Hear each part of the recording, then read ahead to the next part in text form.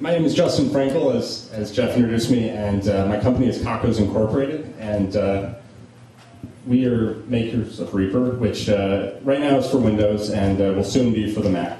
And uh, I'm just going to give you a demo of a lot of things that Reaper does well. I, I only have about 15 minutes, uh, but I'll try to cover some of my favorite things. Uh, I'll just go ahead and.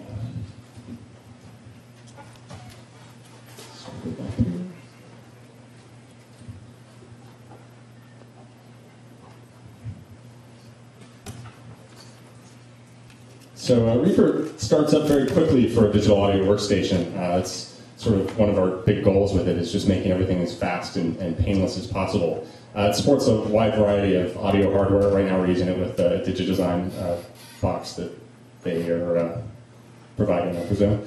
Um, so I'll go ahead and just uh, open up a, a demo project, which uh, is a cover of Song 2 that we were playing around with uh, the other day. So uh, basically that. Something nice about Reaper is that it doesn't really require you to use any particular format or sample rate for audio. So, for example, if I want to add, uh, if I want to add another uh, file to the project, suppose it's uh, an MP3 that someone sent me, uh, I can just drag and drop it in here, and, and it plays. I don't have to worry about what sample rate it's playing at. I probably do have to worry about whether or not it goes with my song, but. So we support a lot of types like MP3s and OGGs and uh, lossless compressed formats like WavPack and, uh, and FLAC, and, uh, and all this stuff just pretty much works, and there's no real uh, sitting around worrying about you know, how am I going to convert the sample rate on this, or am I going to decompress this first, uh, and whatnot. Um, so Reaper is pretty customizable as well. Um, this is the standard Windows theme that, that we uh, sort of ship with, but there's a lot of themes that, that come with it as well that are uh, that look different. Like here's one that's called uh, acoustic. Uh, here's another one uh, a little more futuristic. This one's called stealth. Uh, we also have things that where you can have like nice shadows and stuff. You know, because that really makes music sound better. Uh, we, we actually have clinical trials that, that show this. Um, here's another good one. Uh, and this, this customizability extends beyond just appearances, like you can uh, undock the mixer and have it separate and, and that sort of thing. Uh, a nice thing is that you can also set screen sets, so if you have something you use when you're tracking and uh, have a different setup when you're mixing, uh, you can easily switch between those. Uh, so speaking of tracking, I'll go ahead and, and show uh, how Reaper does at tracking, except we don't have power. There we go. Uh, so, for example, in this mix, uh, we will play around with uh, adding a, a new guitar part. Um, so, while playing, I can just go ahead and record on the track and set up input monitoring on. Um, yeah. So, if I want to go ahead and just start recording, I can do that. Uh, and if I, just easily punch out, and uh, I'll just go ahead and zoom in here and added the new guitar part as a take, uh, as a take, and then I can go and switch between takes easily enough. Uh, this theme is not terribly great for this, actually. Um, so there's the there's the new guitar part, and then here would be the original. Um, so you can add as many takes as you need uh, by this route, and, and it, it all just pretty much works. And if you want to do multiple tracks, it's also easy. You can add additional tracks uh, very easily, uh, and then record on them and choose their input and, uh, via this route. Uh, you can also alias the input names because these names aren't terribly useful. You can assign them to what they're most commonly used for uh, very trivially. Uh, we also have a routing matrix which lets you uh, visualize every track and every input so you can quickly route inputs to different tracks and arm them to, to quickly change your setup and, and not have to worry about going through each one and, and uh, seeing what it sets it. Um, we do some nice things too with, uh, with auto punch. So, uh, for example, if you want to just punch in for one particular spot, you can uh, set it to punch in on the loop selection. Uh, and in this case, I'll, I'll put the input monitoring on, um,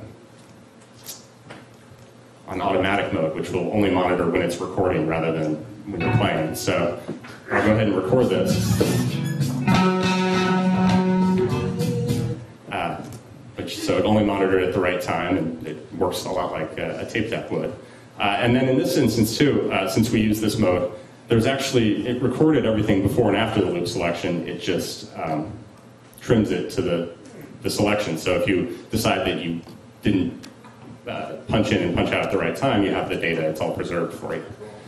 Um, so I'll move on from that to, uh, well, I should also mention that all this stuff is very dynamic. We can record direct to compressed formats too, uh, if you're recording on, in the field and you have a limited amount of storage.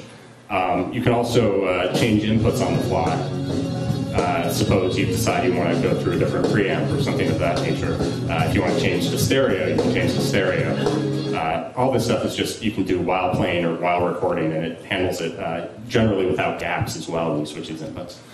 Um, another thing we do, which no one else really does well, is uh, vari speed recording. So if, put it back to the normal mode for this.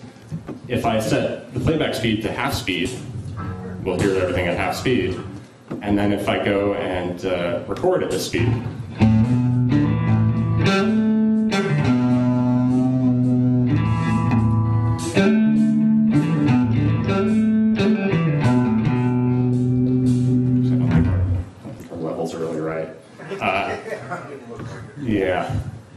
I'm still set up to stereo. Well, this will give me a, a, a way to demonstrate something nice. so I can actually switch this thing back to uh, right.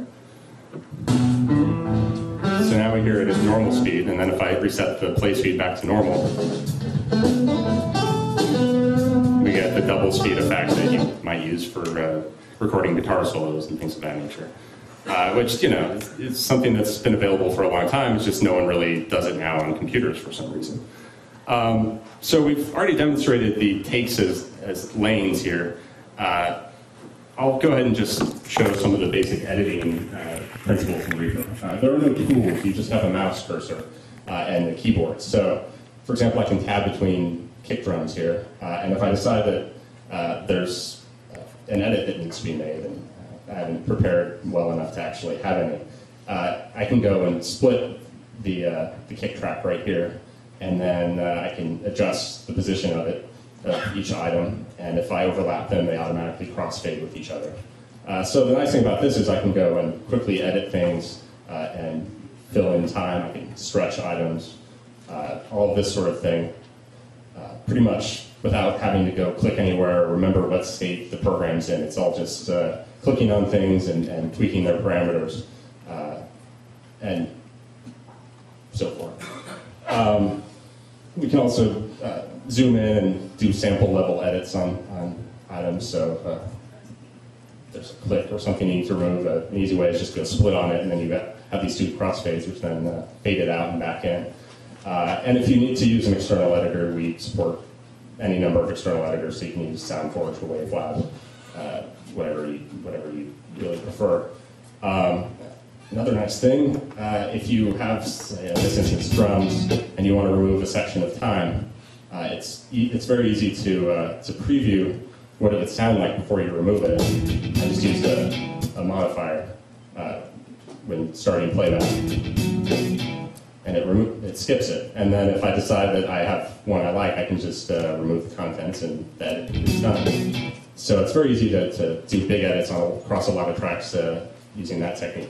We also support uh, ripple editing, so if you're editing content that's dependent, uh, that has a lot of edits later, you can go and have it automatically uh, move things, which uh, I'll demonstrate here. So for example, if I move this, it moves all, all items that are after that, including the regions and automation and things of that nature. How's it do that without you going to a toolbox? Well, there's you know there's modes for, for editing like that, but there's no like scissor tool or erase tool or envelope tool. something on the keyboard? Um, I, I flipped on a, a well, we should probably keep this for after, but I, I clicked on a button up on up in the toolbar, and there's also hotkeys